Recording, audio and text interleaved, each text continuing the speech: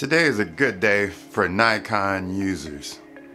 Nikon has just released a new firmware upgrade for the Z series line of cameras.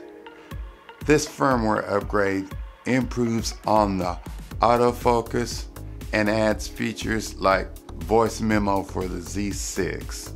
Being a Z6 II owner, I'm excited about these new upgrades. Maybe my new camera will be similar to a Sony or a Canon and I won't have to hide it from Canon R5 users.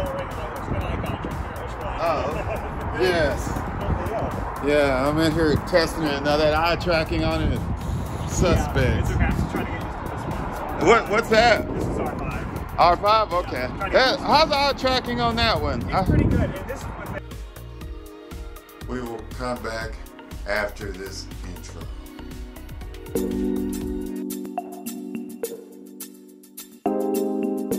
My name is Von. Today I have a special guest, my wife. This is my wife Pam of 33 years. She will be my model for today. Let's start the test of the Nikon firmware upgrade for Z series cameras. The upgrade for the Z6 II is firmware version 1.20. Today we will test the human face tracking mode. In a previous video, I had difficulty with version 1.10 focusing on the eyes in different lighting setups. Can you tell from the video which one is a new upgrade? You guessed right if you picked a photo to the right. These videos were taken in the studio. Next, let's do flash photography. This was one of the disappointments I had with the previous version 1.10. I couldn't get the camera to focus with the flash due to the camera being in a low light situation. Now 1.20 finds the eyes consistently. Before I had to switch to spot metering to ensure I had a sharp photo.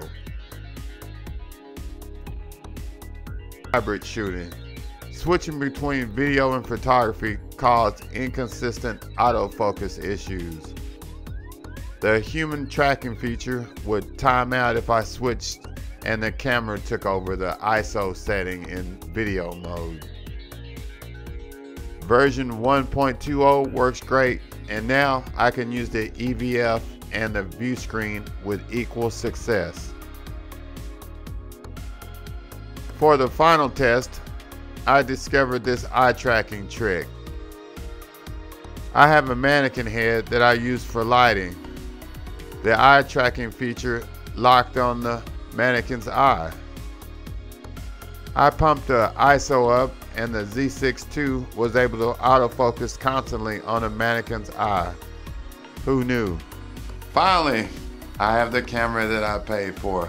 Thank you Nikon for version 1.20. Now, human tracking is no longer a novelty. I can actually use the human eye tracking. It works. It took two to three months, but it works now. So I am no longer ashamed to show my camera. If you're a Nikon user and you just purchased a Z camera, I can now recommend it. Whatever magic dust Nikon sprinkled on this new upgrade works. Thank you for watching. Please subscribe.